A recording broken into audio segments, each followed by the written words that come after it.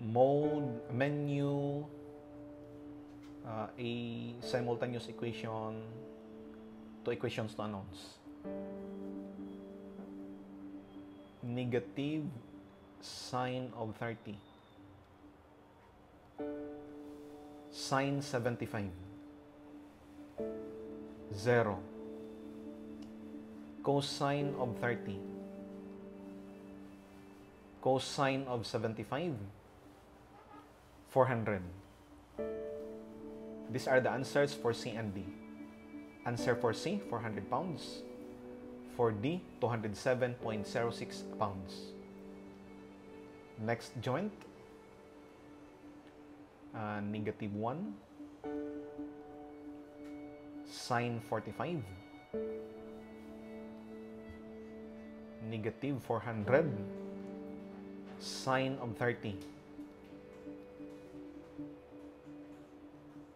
0, cosine 45, 300 plus 400 cosine of 30. This is the answer for chord A, 846.41 pounds. For chord B, 914.16 pounds. Okay, how we did that? For details, continue watching this video. Similar to process where the direction of each members are given, you can go directly to your calculator and solve for the unknown forces. Okay? Hello everyone. I'm Junvert of MATHalino. In this problem, we are going to discuss the solution for problem 317 where we are going to solve for the internal forces acting at A, at cord B, C, and D. Okay? For the details of our calculator you watched earlier, we have this solution. The first thing to do is to draw the free body diagram. Okay? Let us start with the joint. We have these two joints, this upper joint and this lower joint. Let us start at the joint where there are only two unknowns. So for these two joints, the two the joint that contains two unknowns only is this lower joint. We have this uh, unknown C and unknown D. So let us start in here. We cannot start at this joint. Why? Because there are three unknowns in here, A, B, and C. Okay? These are our forces, the 400 pounds, the weight of the block here. Then we have these uh, forces C and D. Okay? The, they are tension. If you see this 400 pounds downward force, the reaction forces for C and D are obviously upward. They are in tension. These members are cords. They can only take tension. They cannot uh, take compressive force. Okay? Solve for C and D. Let us establish our XY plane. So this is our XY plane, coordinate axis. The rotation of C and D are given from the figure. Okay, let us start. Summation of forces in the x direction, zero. For force C, the x component of this force is to the left. So we have this negative C. The x component is opposite to this 30 degrees, which means sine of 30. Plus to the right. The component of this force D is to the right, meaning positive. We have this plus D. The x component is opposite to this 75 degrees, sine of 75. There is no other force in the direction of x, so we will equate this to 0. Okay? Next, summation of forces in the vertical direction 0. Obviously, this C and D are both upward, so they are both positive. For the C, the, the y component is cosine of 30. Okay? For the value of D, the y component is cosine of 75.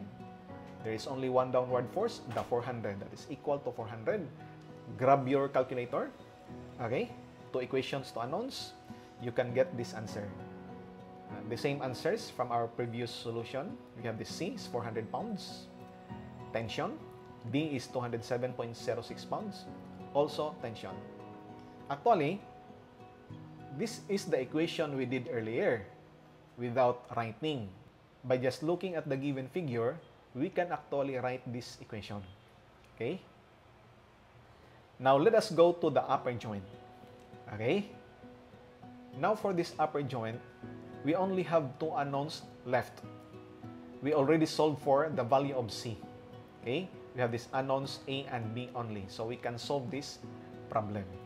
This is the force C. Okay?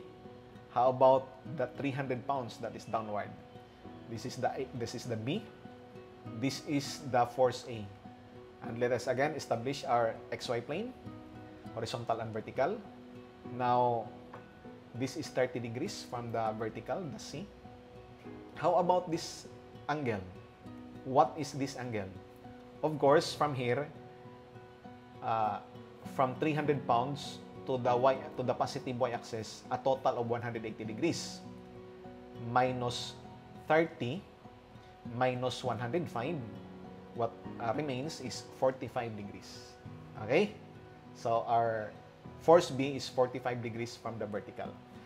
Summation of forces in the vertical direction zero. You may notice that if we sum up forces in the vertical direction, it will not involve the value of A. So we can get directly the value of B. Okay, let's go. We have this B cosine of 45. That is for the vertical direction of B. Vertical component, I mean, of B. So we have this cosine of 45 is equal to downward. The downward forces, we have this 300. And the y component of this 400 pounds force. So we have this 400 cosine of 30. This is the value of B. Okay? Summation of forces in the horizontal direction, we have this value of A to the left, is equal to forces to the right. The forces to the right are B and C. Let us write first the value of B, that is B 914.16 sine of 45, that is opposite to 45 degrees. So sine of 45. For the value of C, that is also opposite to 30, which means 400 sine of 30. And this is the answer for force A. 846.41 pounds. Okay? Now, for those who are interested only to this type of solution, the component method, then you are dismissed. Okay? Bye-bye. but for those of you who are uh, who wanted more insights for this problem or for another twist or another solution or another approach, then continue watching this video. Let's go! Now, what if we are going to use the rotation of axis? If you notice, we did not use the two equations to announce for solving the A and B, not like in our earlier solution in the calculator only that we use two equations to announce. In here, we take advantage to the condition of A wherein A has no vertical component. Okay? That's why we go directly to the summation of forces in the vertical direction because it did not involve the unknown A. Okay? Now, let us apply that type of advantage to joint A by rotating our axis so that one of its axes is coincidence with the unknown. Let us say we are going to rotate this X so that this X-axis will coincide with the force D. Okay, let us rotate that one. Like that one, okay? So, we rotated this uh, axis by 15 degrees. Am I right? This is our new coordinate axis, x and y. So, I have this 15 degrees. Can you see that? Why it is 15 degrees? Because we have this 75. So, this is 15 degrees, total of 90. Now, what is this angle? Of course, that is uh, 90 because this line and this line are 90 degrees. So, this is 75. Okay? How about this angle? Okay? This angle here is 15 degrees, which means the opposite of that is also 15 degrees. And because this is 30 degrees, the other side is also 15 degrees. Okay? This line and this line are in 90 degrees, meaning this angle, which is our concern for now, is 90 degrees minus this angle, which is 15. This is also 75 degrees. Now let us clean up our drawing. Okay, let us start. Summation of forces in the y direction, we can solve for C. It will not involve the value of D. Okay? Summation of forces in the vertical direction, we have the upward, the positive direction of C. C sine of 75 is equal to downward. We have this 400 sine of 75. That is not 15. sine of 75. This is typo. And just uh, erase that one. Let us replace that with 75. Okay? 75 degrees. Human error. Okay? 75 degrees. So we have this C is also 400 pounds. The same in our earlier solution. Summation of forces in the x direction. We have this value of D. Purely in the x direction. Okay? Next. C. Okay? To the left. That is, is equal to C, which is 400, cosine of 75 times 2. Why? They have the same magnitude and also 75 degrees from the horizontal. Uh, the same horizontal component in the x direction. We have this value of D, 207.06 pounds. Okay? That is for the rotation of axis. How about another method? I may, uh, let me erase this one.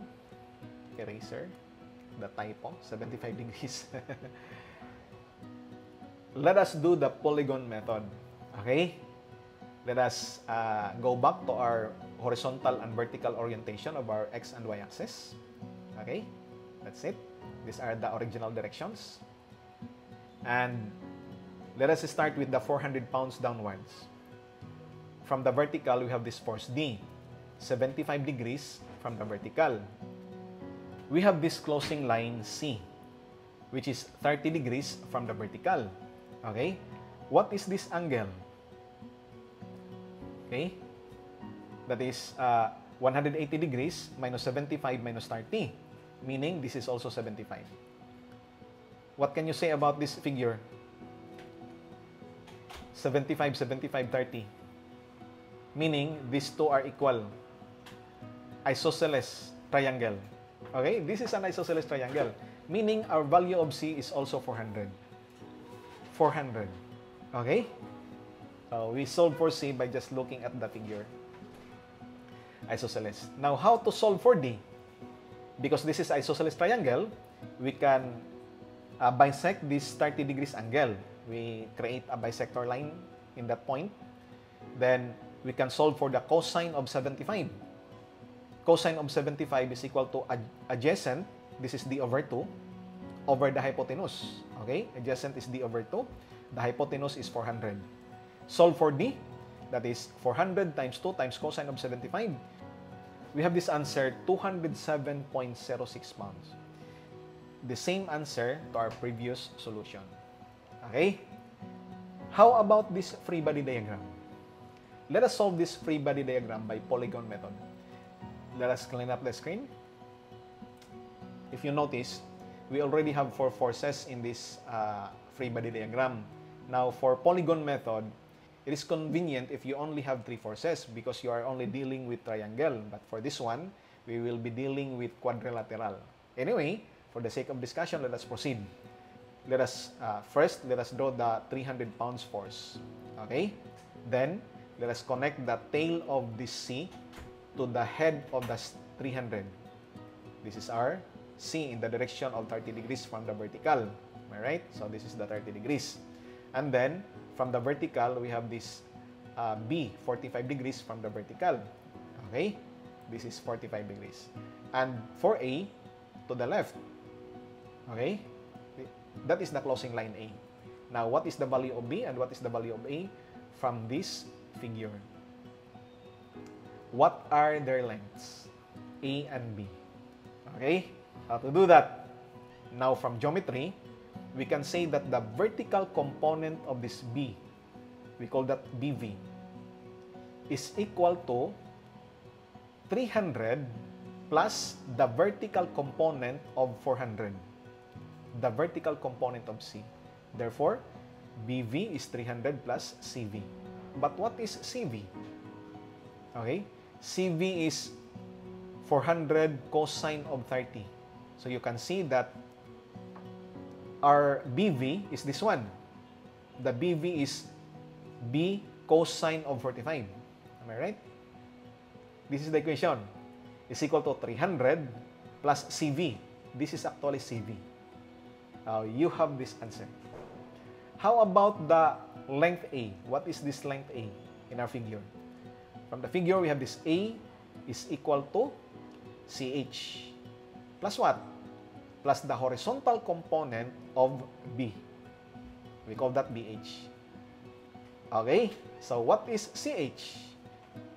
From the figure, CH is the horizontal component of C. That is sine of 30.